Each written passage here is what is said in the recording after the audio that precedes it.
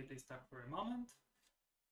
Uh, welcome to day two of the week of Pawsome Players. I'm trying to fundraise for cats protection and working on some open source software while I'm doing that. Um, yesterday I mostly tied up um, paper work for the week. I may go back to unpaper later on this week because it turns out we have some stuck situation with Travis CI and everybody is migrating away from Travis CI, so I may as well do that myself. Today instead we are working on USBmon tools and I'll start with a bit of an introduction of what this is about. Give me just a second. And this is when Streamlabs doesn't recognize Edge. There we go. Okay, I guess I'll have to fix codings as well. As I was saying, for the whole week, I'll be streaming every day, uh, 7.30 London time, except Saturday and Sunday that will start earlier. And if you want to look at the streams afterwards, they all be on flameeyes.tv which is just a link to the YouTube channel. Hopefully the background noise today is reduced, if not gone. The chair has been mostly oiled, it still squeaks like no tomorrow. If anybody has a suggestion on what to do on an IKEA Markus chair to stop it from squeaking, I'm all ears. Please let me know, because I have no idea. Um, and otherwise let's go and get started. So USBmon tools, what is it? It's a set of libraries and tools which is yeah not very well documented. Um, it's mostly designed to deal with Linux USB USBmon, as in USB monitoring traces. On Linux, you can write down a file with all the USB traffic, the USB capture of all the data that is sent and received on a particular USB controller. You cannot really do it per port, you can do it per controller. Um, and the way you usually do it is using the pcap, the, the pcap package and using either T-Shark or I think there is one of the pcap tools that can do it as well. For various reasons, this is not obvious to implement. And the way I've been dealing with this myself is I just wrote my own tool for it. Um, so USBmon tools has ways to read.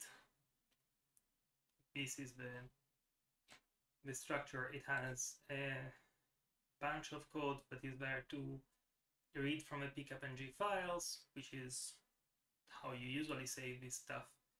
Um, but it also has the way to, oh, sorry, not this one. It has a way to access this, extract the pcapng data into a different file. And in addition to this one, I also wrote a different Python package, which I now forgot actually the full name of. I keep getting the full name of. Yeah, Cython Linux USB USBmon. This one implements mostly the um, oh, you don't pass checks for whatever reason, so I need to actually go and fix that. Um, but this one has an implementation with this source. It's in Cython, as the name uh, suggests. I do like Cython for extensions like this to deal with IOCTLs and everything. There's a capture command line tool using click because it's easy. Um, and that's pretty much it. Like there isn't really much more to this, it just reads the file and just writes them out somehow. It doesn't quite do pcap pcapng write out because again bunch of reasons in writing out the correct pcap pcapng file for this is not obvious um, it's not just the pickup ng format that you need to look after, there are other things in addition to that that make it complicated, and so I never have spent time into that for now. Again, this is not going to be the main topic for the day. The main topic for the day is instead, yeah, that's the Markus chair. Um, the main topic for the day is getting chatter out of the CP2102 um, files. Do I have anything in test data that I can show you? Well, maybe this one or not. I'll see. Um, what is the chatter files? The chatter files are pretty much just pcap and pretty much the same as the pcapng, just not quite. Um, I use chatter files, or rather, I did I invent the format? I don't think I really invented the. Chatter files are just an easy way for me to visualize the back and forth between a device and the computer. And it's not really much into them, they just literally take the whole stream. It's useful for things like HID devices if you want to just go down to like the reports that are sent back and forth and we just remove all of the details that you don't really care that much about when you're just trying to figure out what the device and the computer are telling each other. Um, I've been doing this kind of setup for many years now. Um, I've produced chatter files out of USBlyzer, which is a Windows USB capturing software. And when I stopped doing USB USBlyzer files, I've just been getting normal chatter files out of PcapNG. So nothing particularly um, sophisticated, but they're very handy to have. I have, in particular, under tools, a chatter for generic HID, and I have a chatter for CP2110 devices. 2110 devices, um, there are Silicon Lab CP2110, and I have spoken about closing the blog, they are the ones used by the GlucoRx Nexus Q. But I have, here it is, a particular update from 2019, which I recently updated.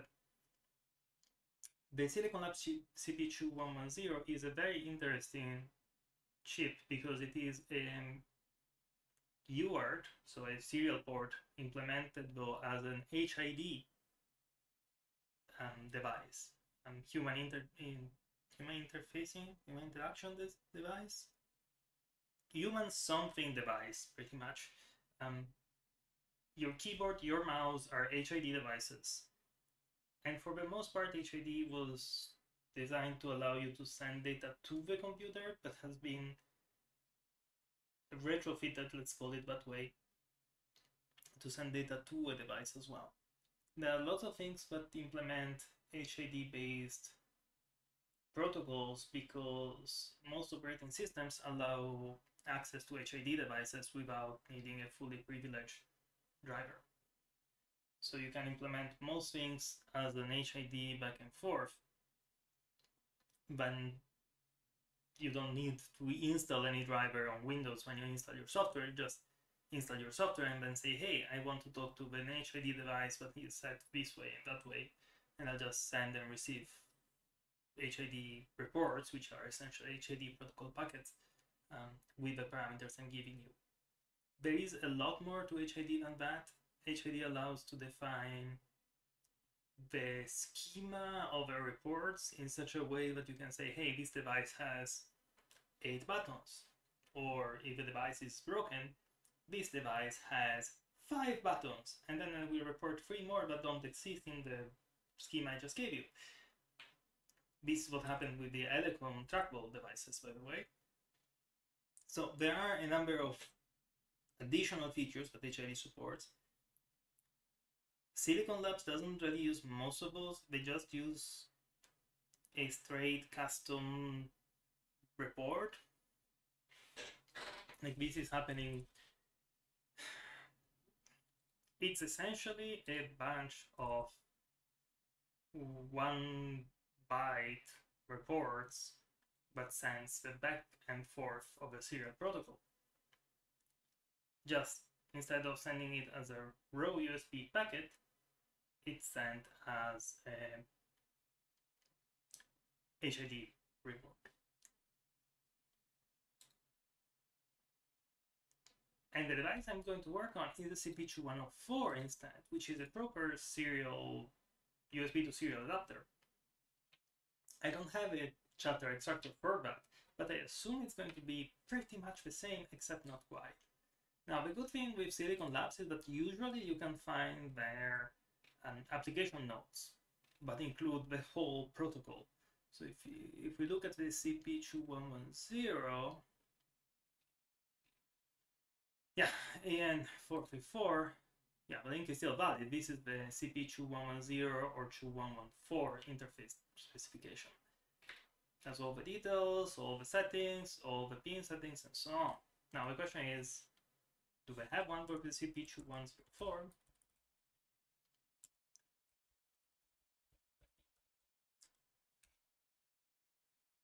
And the answer seems maybe not. Yeah, it is CP2102N. It's probably, but it is not in these oh, relevant application notes. This may be. Um, USB Express API interface, serial communication guide. Uh, so maybe the AN197.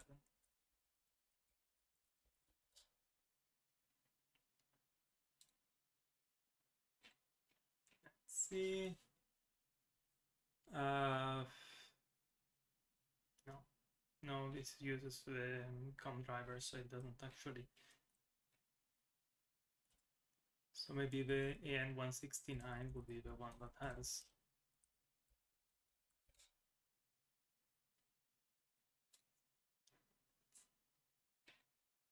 yeah, this is the whole device implementation. It does, I don't think this one has the actual lower level USB details.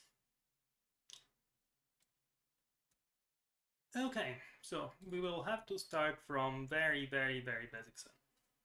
Before I get to the actual code, since this week is here in favor of cats protection, please donate at flameeyes.com slash cats will send you through Tiltify. I don't see anything of that, don't worry. Uh, let me just leave you with the cat video provided by Cat Protection then.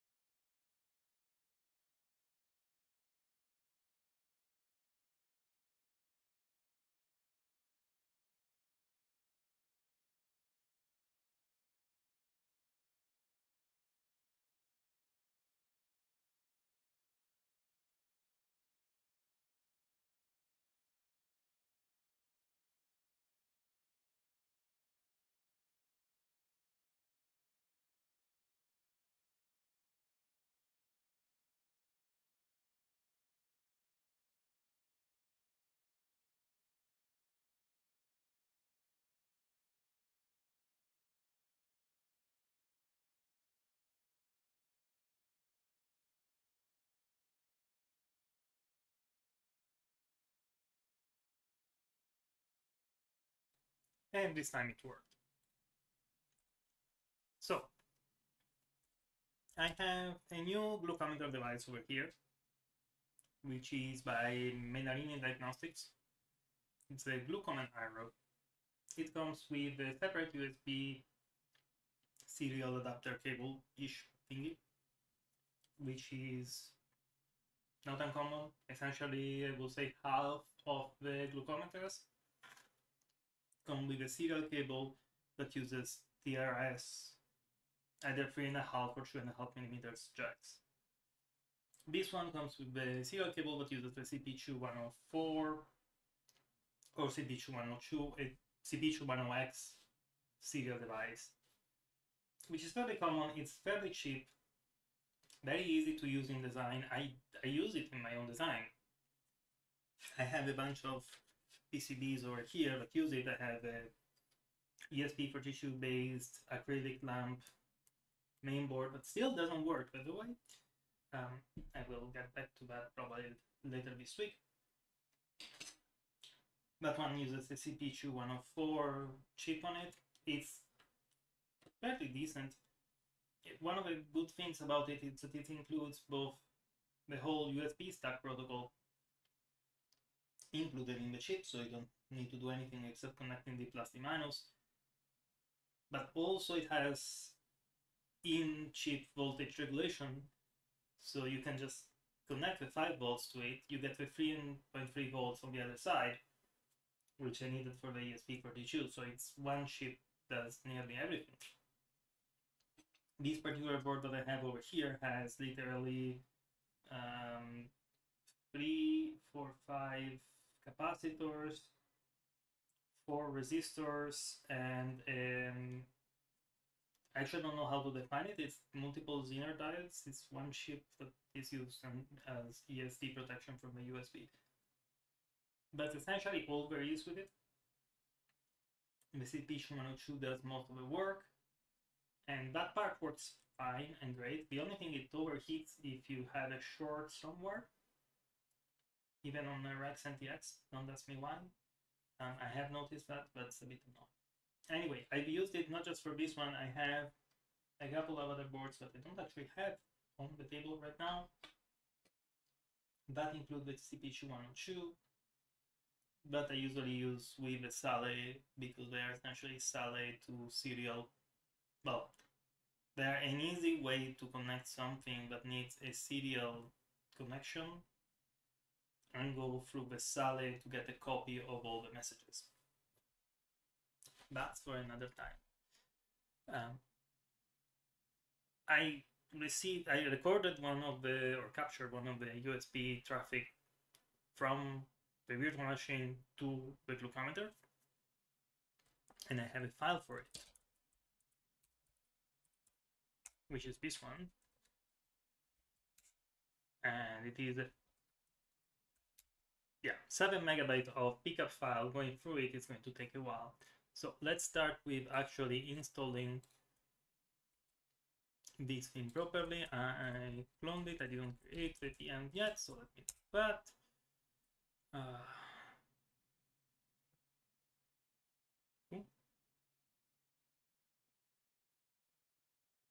was working last time.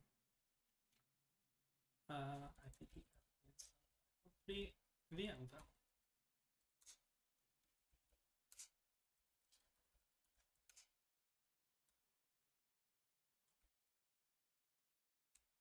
Let's try again. This time it created it. And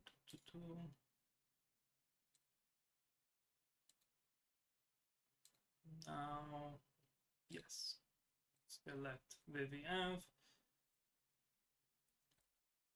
And if I now control There we go, this one activates the VM. I do like in VS Code if you set up the VM correctly, this works.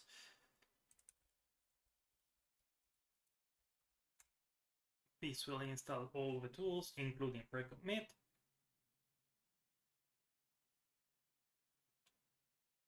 Quite a few of them.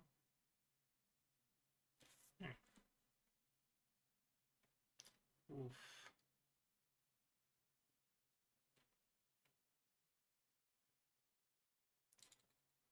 fail to build constructed stamp.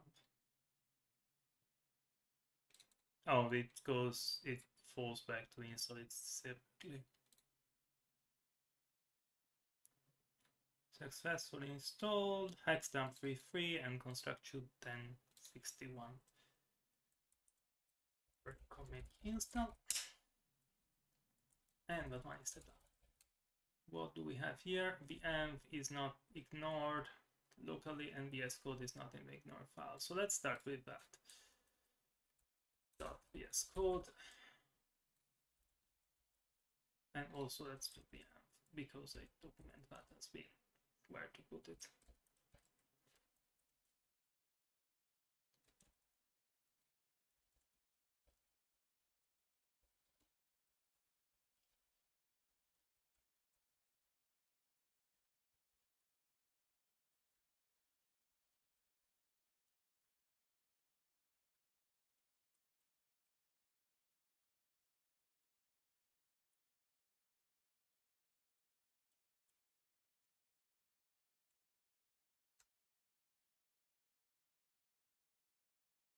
And I also need to update the pre-commit the same way as I had on um, paper. So let's wait for this to install everything. I'm gonna do the same. Okay, then end of file, in white space, everything passed, everything and everything else has been ignored.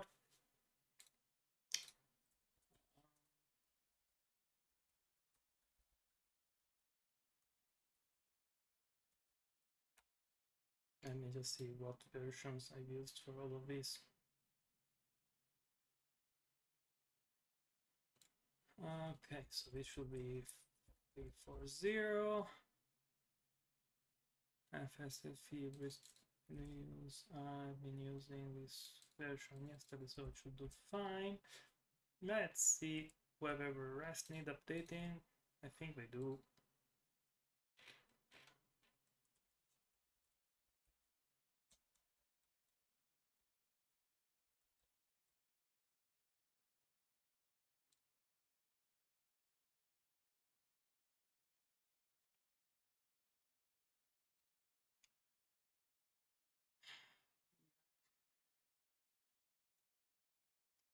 I sort changed where it is and also where it should be used.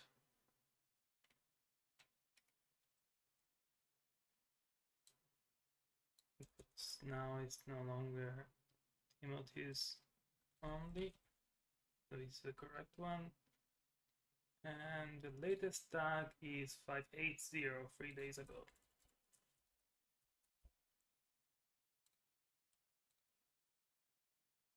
this one is now PSF black.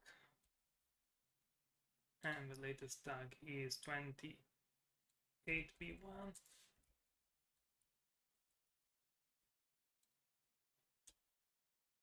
This is on GitLab or never mind. And this is 390 and this one 30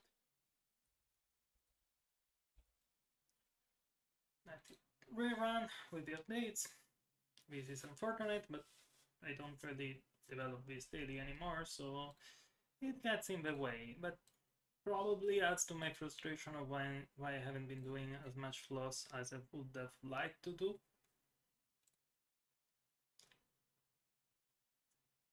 Okay, uh, ooh, it reformatted a lot of stuff um, and changed sorts. So that's what's going on here. Okay, yeah, that's fair.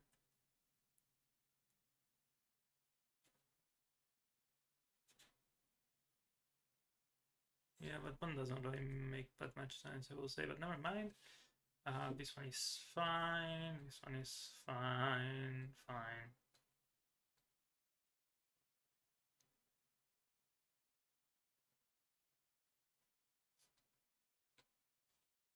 Yeah, okay.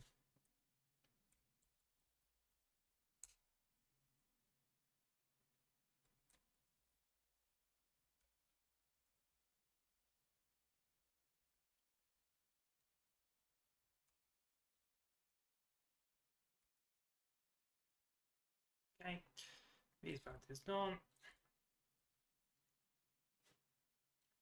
Now, I do have a USBmon tools, a USBmon capture stats that I can run on the file and it will tell me something about it. Tell me, yeah, there are a lot of addresses, there are a lot of descriptors, doesn't say much about the descriptor, it just says what the descriptor are. Um, and unfortunately, I don't actually resolve the USB IDS, which is a bit annoying. So out of personal experience by now, um, 10C4 is Silicon Labs, or rather recognized by EA60, which is the CP2104. So this device, one, 115, is the device that has the traffic we care about. There are a lot of other devices on this thing. And the reason for that is that on Linux, you cannot actually go and capture the data only for one particular device.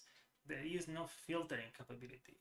Yes, you can use T-Shark or Wireshark to capture and apply a filter in visualization, but it doesn't support capturing only a particular device on the filter side because there is no BPF support on the USB MON interface.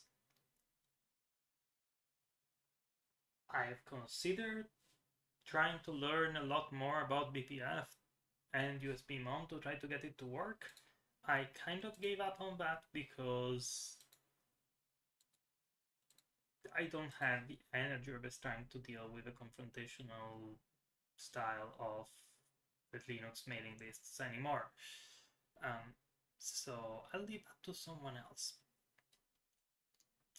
On the bright side,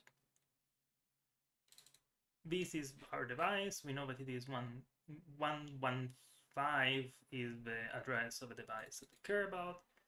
One four two it's this device over here, and I have a feeling from the number of events here that it is my trackball. Because you can see here that most of most of the data comes from 142 and 112, and 112 is 0131. And then you can see that most of these, like the isochronous one. Isochronous? Really? Oh. Yeah, I hadn't considered that. When I did this capture, I was using the mic, the, the mixer that I'm using for the microphone right now as my audio sound card for my Linux machine because I have a NUC and like my options were the speakers on the monitor itself or external speakers in like very roundabout ways. So I just set it up with the Sub-Zero with USB as the external sound card, which is a bit messy and right now I'm not using that because I'm using it to capture the mic. But that means that all of this isochronous stuff you see here um, is actually, which is this one for two here, they're all isochronous. Um, the isochronous USB stream is essentially anything that has sort of kind of real-time needs and that means yeah it's usually audio or video. And in this case it was most likely audio. So 114 it's this thing over here. Let's just out of curiosity I'll put this one on Bing search. Actually no it's a wireless receiver. Wireless receiver No, Makes no sense. Um,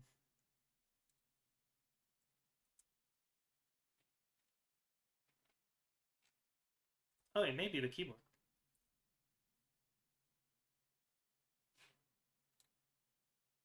Yeah, it could be the keyboard. Uh, that's interesting. I didn't realize I was typing that much. Um, oh yeah, 142 was the one that I was, so 14 is this one.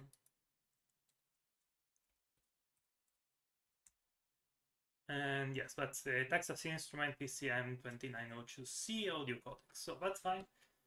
That is not what we care about. We do care about this one, 115. Um, so let me start by getting so the USB MON capture stats, if I remember correctly, I did it. Oh, did I not implement it on that? Damn it. Um, I usually have implemented on the tools a filtering. So if you look at the Chatter HID one over here, I have an address prefix that says only match the device with a given address prefix. I didn't add that to capture stats, so let me do that.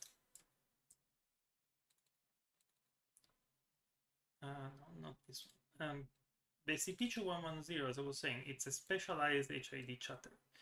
Um, and with specialized, I mean it is not just decoding the HID chapter itself, it's also like filtering down particular transfer types because we know that that's the one that HID will use and will decode what the um, the meaning of a single HID report were, which usually is just the input and output from the serial, but it can also be like, I'm going to configure the serial with these parameters. And usually you don't need that information, but it is handy to have it. So I like I implemented it and make sure that it gets out of that. Uh, so let me just copy exactly the same thing, the address prefix here. Um, prefix match applied to a device address in text format. Only packets with source destination matching this prefix will be printed out. Awesome. Yeah, Pylance thinks that this code is unreachable. Pylance is wrong because people can still try to run this with uh, the older Python versions. So pasting this from here. And if somebody had any doubt, yes, I do copy paste from my own code all the time. It's properly typed with MyPy support for everything. The only thing I'm not going I'm going to check. So this let me pick this one. This is part of a USBmon library I wrote for this. Well, it generates just a bunch of counters and then it parses the string, the pcap file. This will use the Python pcapng module, the Python pcapng library, um, to extract the data from a pcap file, and then we will apply some decoding of the structures because the raw Linux captures are a bit of a mess when it comes to data. I already spoke about that some months ago. You can look up the old videos about this, but essentially USBmon capture on Linux is a mess. And so I try to normalize a few entries. I also add a few more I can read a Windows capture as well as a Linux capture. There is a different format for USB captures on Windows. And the reason for that is that both the Linux and the Windows one, they just dump the state that the kernel sees of the USB transactions and doesn't do any like normalization of the data. So I'm doing that myself over here. I know there are other libraries that do that. I wrote this a couple of years ago when I was trying to work on a bunch of things. The stuff I saw from other developers is a bit more complicated, maybe a bit more advanced. But it wasn't working when I tried it.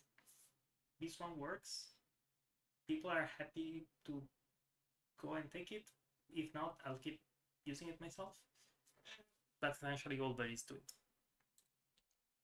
So, as I was saying, this thing opens the session and just goes through all of the packet. Now, if you look over here at where the address prefix is used, it's just checked that the submission starts with it. Actually, it doesn't like it doesn't look if it's a source or destination. It just checks the submission pair because this is all paired up in pairs. So on this one, I'm going to change it slightly different. Well, I have the packet address anyway. So if packet address, if not, packet address starts with address prefix, continue. Uh, and this should help me doing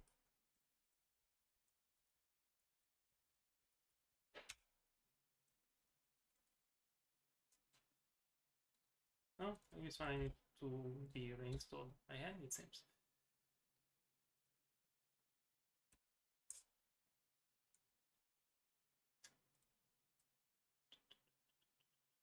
Just, oh, dash prefix.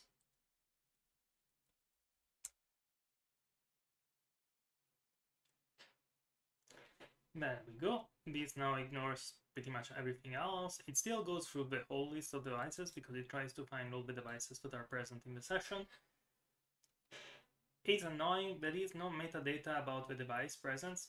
PcapNG has in the definition of the format itself, the ability to say, hey, these are the devices you're going to encounter in the following capture. It doesn't require you to use it. It also has no way to use it in USBmon in Linux because it just uses dump stream of the buffer that is coming straight from the kernel. You could post-process it afterwards, add it, but none of the tools that I know of will do that. I was considering writing a new pcapng format that just takes Windows or Linux USB captures and just write down a, a new one as the output, but I have not bothered. The library allows you to consume both of them. It will take a little longer to just pre-parse them to find all the devices. That works. And given that I'm working on this on my spare time, or not even my spare time, like I'm, I'm literally just going through this now after months since the last time I touched USBmon tools, and I was going to do it anyway, not just because of CATS protection, but I thought this will be a good idea. So again, if you are watching this, please donate to CATS protection. And as I was saying yesterday, if we reach a thousand pound, I will start the stream from Linux afterwards. And I will be blogging about all of the problems that I'll find with trying to get it to work on Linux, because I'm sure I'll encounter all kind of issues, despite the fact that I'm not even using Gentoo anymore. I'm using OpenSUSE. Anyway, uh, let's go back to this. So the devices are all there. Now we know that that particular device has 588 receive and 254 send. Um, that's the direction in and out. They kind of match the right thing. There are some bulk bulk messages and there are some control messages where are no interrupt messages. This is important because if you look at the chatter HID here, the transfer types for HID are actually interrupt and control. So we're not going to get any interrupt. This uses bulk. And this is one of the places where things get a bit annoying because if you need to send and receive bulk directly from Python, you need to use libUSB, which is complicated. Now, on the bright side, these just need a serial connection, and I'm fairly sure that I will be able to get this to work with any other serial port adapter I have, as long as it's two and a half millimeters. I have not written down yet which one is tip, which one is ring, and which one is sleeve. I'm ready to bet, but the sleeve is just round because that's standard. And most of others, let me show you what I mean.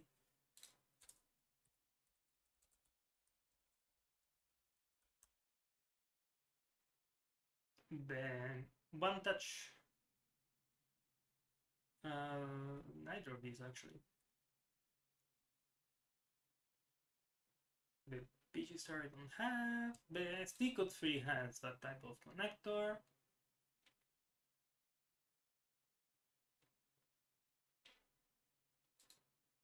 It's only the CodeFree that I have over here. Well, this one has tip and as receive and ring to transmit. And I have not written down anything. Oh, and look, the SD CodeFree cable is actually exactly the same, the same cable. It's a 10C4, which is Silicon Labs, EA60. And if I go back to the code, there you go, EA60. So yeah, this is not uncommon. I have, as it turns out, a different cable that uses exactly the same because it's a two and a half millimeter. Yeah, uh, it's a two and a half and a half millimeters jack, TRS jack, standard you'll find it all the time. It's still the same. Like I,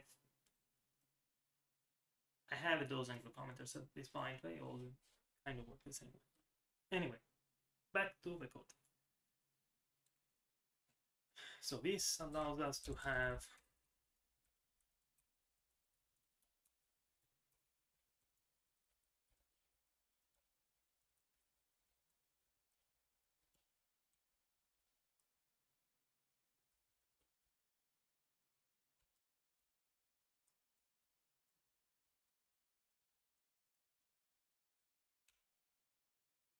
Mentions it this way.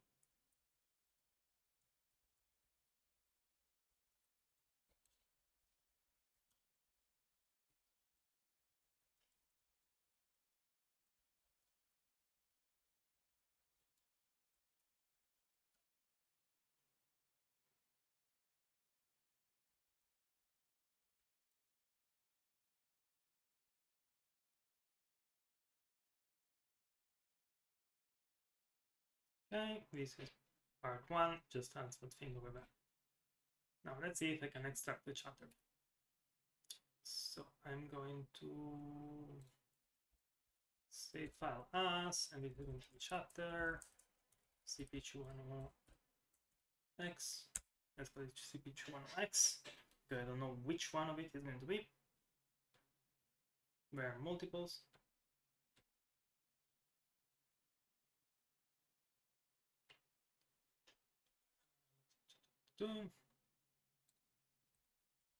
So this is going to be 2021, not 2019 at this point. So let's update these two. Uh -huh. And this is going to be bulk. Most of the rest will be pretty much the same. Address prefix, file, version, parsing, submission and callback. Now this one can use some string while I'm.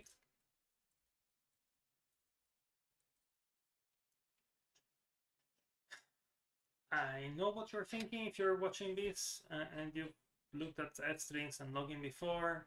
By doing it this way, I'm no longer lazily evaluating the parameters to logging debug because I'm forcing the formatting to happen anyway. This is very minimal and it's easier to read as an F string. Yeah, I, it's just that the tag is a UUID.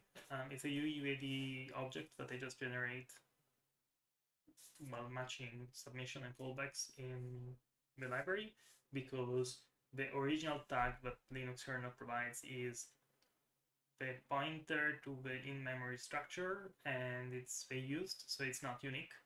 So this one is just a unique tag.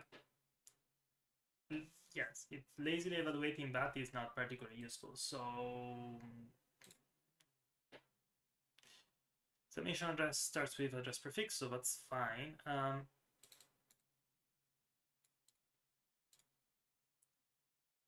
okay, this one has the, if it is a control, and it has a setup, setup packet of class, it passes it, and otherwise continue. And otherwise, if it is interrupt, which in our case instead it's bulk.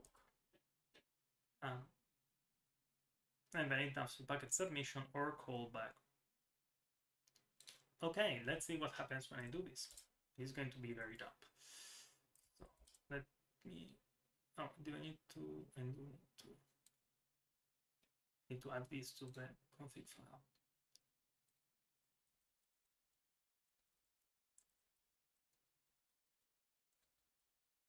X,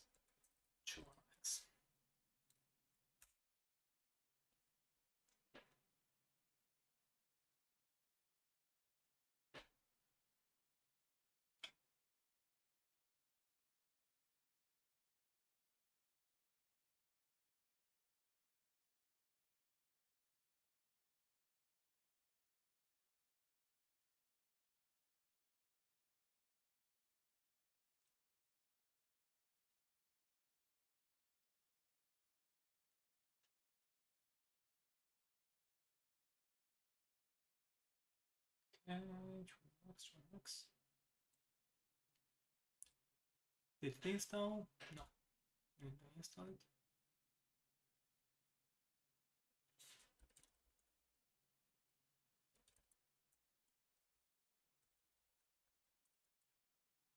Yeah, no, it's fine. So if I do this one, it's 115, there we go.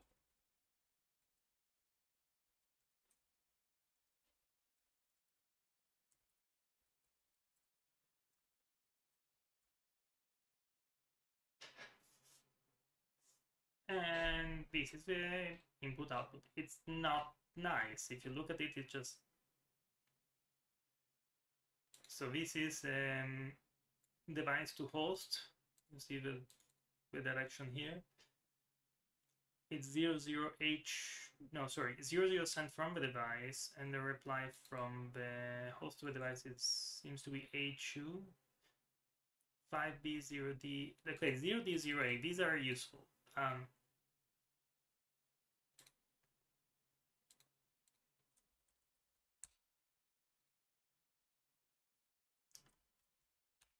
Open it this way.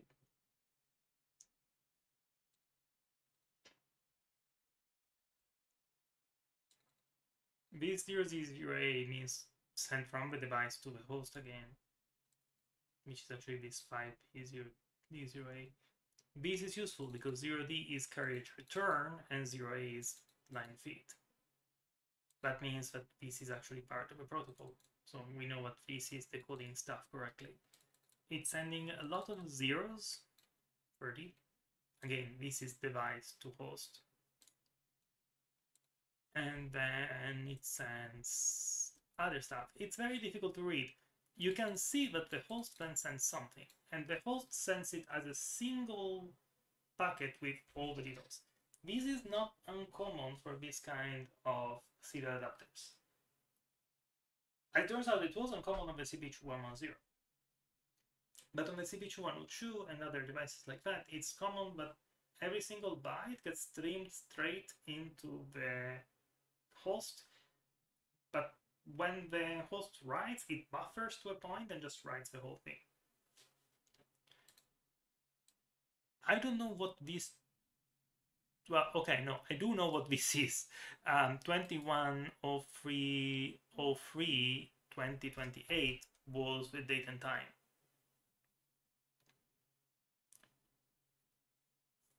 So this is trying, oh, this is probably reading the, the date. Yeah. Again, this is like a brief window into my mind when I'm trying to reverse engineer a protocol like this. I have a long stream of bytes, but are even difficult to read right now. And I'm going to fix that in a moment.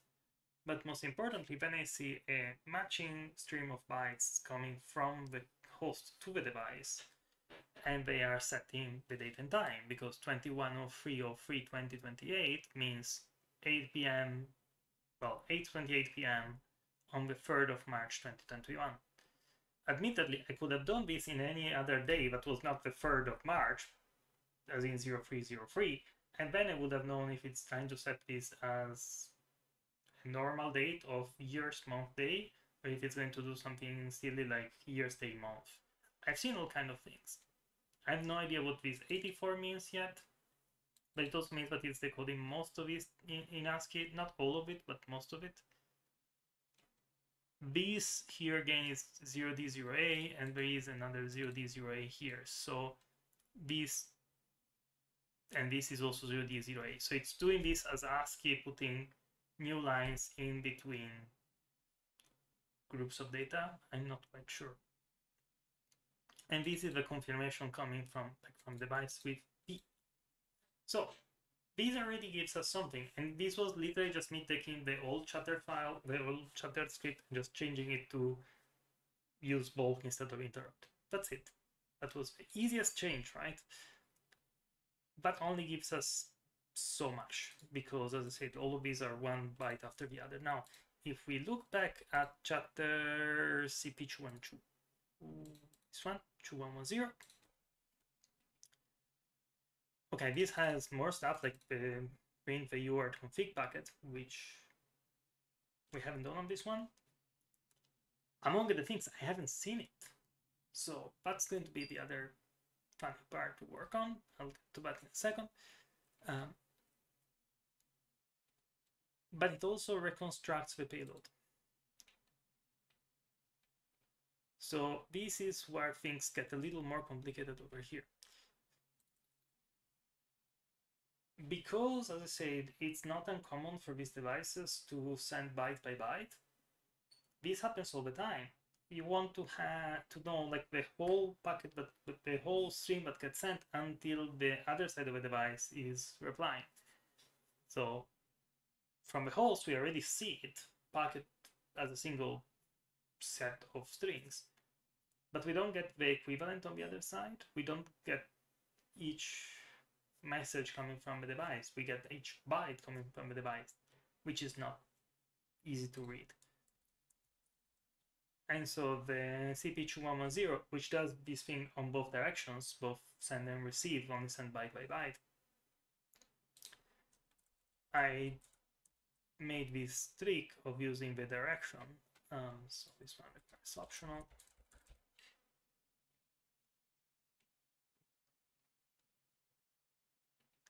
So over here, and yes, this one also have, if you don't have the address, try to guess the address by looking for the default vendor ID and default product ID.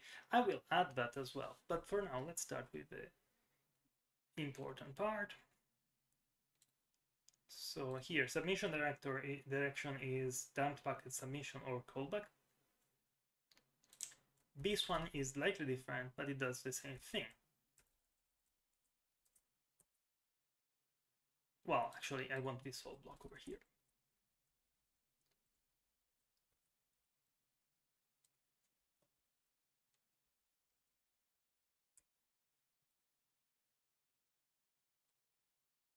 So this prints the dump bytes, direction, reconstructed packet, and then reset direction and reset the dump packet, the reconstructed packet. And then again, it sets the direction to be the same as the submission, not the callback, and then it calculates the payload one way or the other. This is specific to the CP2110. The first byte of a payload is the report itself, and then if the report is between 0 and 0x3f, which is 63, um, it means that that's the length of the rest of the payload. This makes no sense because the report could easily just have had like one report and then the length. And honestly, given that it seems to only ever use one byte at a time, all of the things that I tested when I tried to build my own or using the official tool, everything sends byte by byte and receives byte by byte. So it's only one report, report one. But never mind. So that's the specific part on um, its side. On this side, we don't need any of that. So we can just do reconstruct reconstructed packet plus equal submission payload or reconstructed packet callback payload. And then we can remove this part over here and this at the end because there is always going to be a last reconstructed packet. So if I do this now and I try again, very good. This is a little more interesting. Um, it's missing one thing,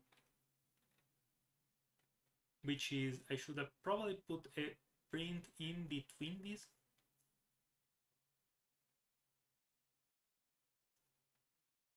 Did I forget a random print there or?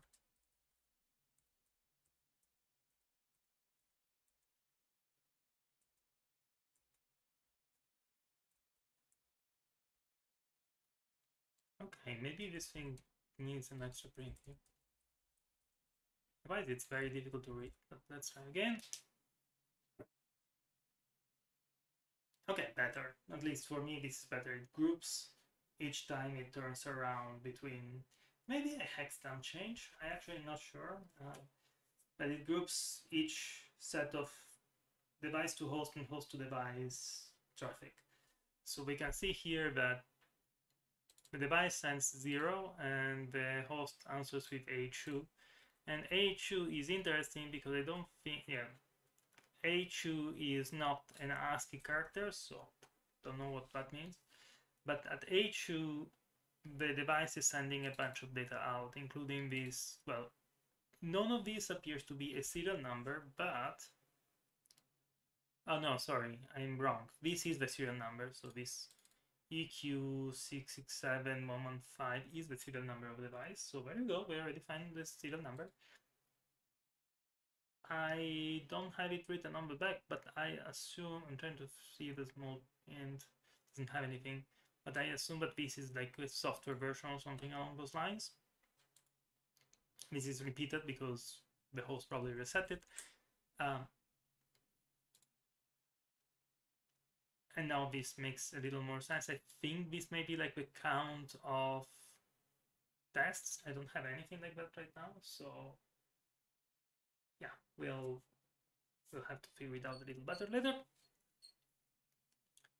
And this asks the device something once again, I don't know.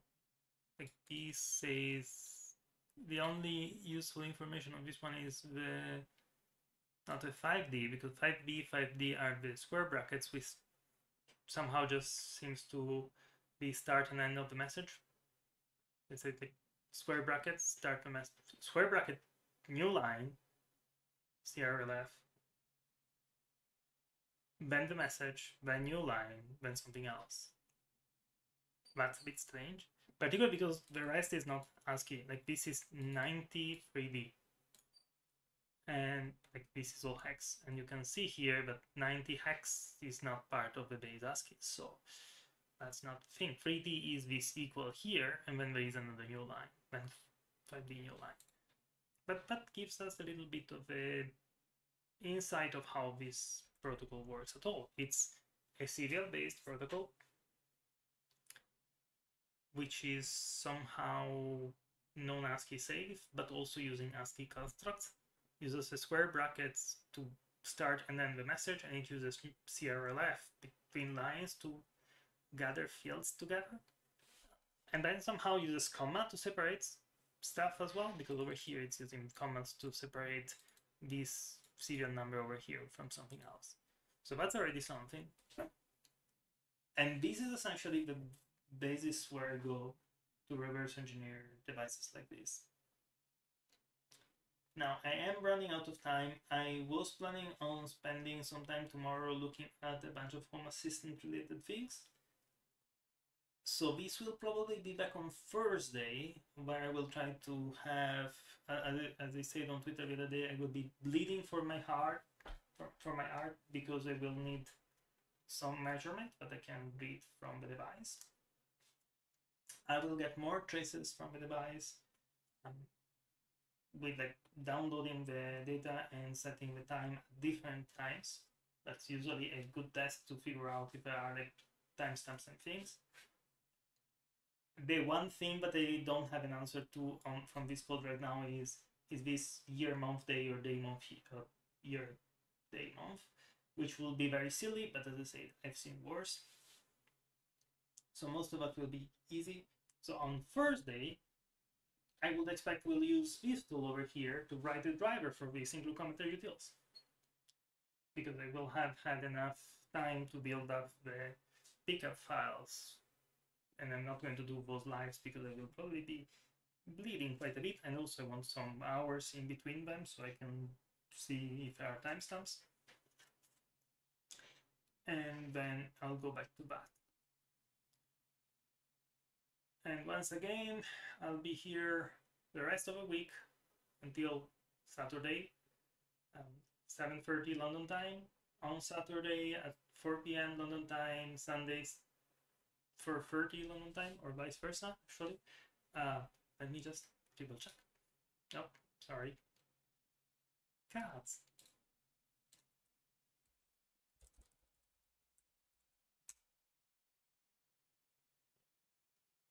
Yeah, you can see here the target is still... Oh, nobody has donated to that one. I need to change the thing, but somehow it doesn't automatically update. Uh, we are aiming to 1000 pounds for me to stream from Linux and blog about the experience. Full schedule is over here. It's 4.30 on Saturday, 4 p.m. on Sunday. And on Sunday, depending on how many things I manage to deal with during the week, I may add more or less hours because if there are just a few things to tie up, I will tie them up on Sunday. Please join me donating to Cats Protection and I hope to see you here tomorrow. Enjoy the evening or the day, everybody.